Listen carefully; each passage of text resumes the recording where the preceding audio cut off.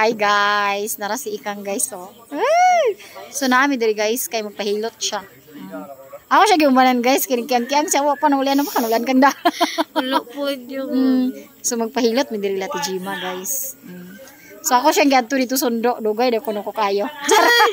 Churi, di mo uy. Charmos, ginamos. So napa may naghilot dito sa sulod guys. Nasa napa bisig Ikang sa gawas. So nagulat lang ni guys kay kasi makaingon sila ba na wala nung unsa mo dani mamista. Wala wala na baby. Ala joke lang guys. Love you.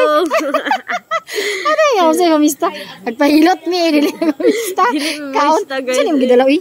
Kung ano siya kaning actually na ay naghatag sa ako ba pagkaon. Wala ka lame. So naman magbikom na kang. Kung ano man siya kaning Ano? Unsa ni siya? Oy bukayo. Ay, bukaya. Oh, kaon mo bukayo. Na iya Ano dala. mo guys? Pakimay. Joke lang. Akibain. Oh, namin dire guys kay magpahilot mini ikang kay iyang kuan tiil. Basi maulian na ni guys kay nagigiang pa siya.